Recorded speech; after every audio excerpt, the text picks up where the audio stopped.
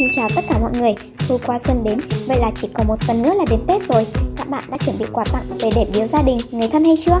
Nếu chưa thì cùng mình unbox sách quà phú quý này nhé. Nhìn qua là thấy một sắc đỏ bắt mắt rồi. Set này được tặng một túi sách siêu chắc chắn, nhìn đơn giản mà lại cực kỳ sang trọng. Bên ngoài hộp là họa tiết chim công được in thúc 3D nổi, kỳ tinh tế và bắt mắt. Bên trong có một chiếc thiệp, mặt trước là câu chuyện ý nghĩa biểu tượng của chim công, mặt sau ghi lời chúc của mình muốn dành đến người nhận. Tiếp theo là một chai vang không độ nhập khẩu trực tiếp từ Bỉ. Chai này cực kỳ dễ uống vì là vang không độ nên trẻ em, phụ nữ, người cao tuổi đều có thể uống được. Đặc biệt uống không say nên rất thích hợp để biếu tặng cho mọi nhà. Ba hộp bên trong bao gồm một hộp nho khô Chile, một hộp trà hoa hồng Tây Tạng và một hộp táo đỏ Tân Cương. Táo và nho đều to, ăn trực tiếp rất ngon mọi người ạ. Ngoài ra, nếu không thích uống vang thì cũng có thể pha trà táo đỏ hoa hồng để thưởng thức cùng nhau cực kỳ hợp lý. Tất cả các sản phẩm đều rất chất lượng, đặc biệt thương hiệu còn cam kết không ngon hoàn tiền nên cực kỳ yên tâm các bạn nhé. Bật mí một chút là set quà này có giá chỉ hơn 400.000 đồng một xíu thôi và đang có ưu đãi mua 5 tặng 1 được in logo doanh nghiệp lên hộp nữa nên mọi người tham khảo đặt sớm nha.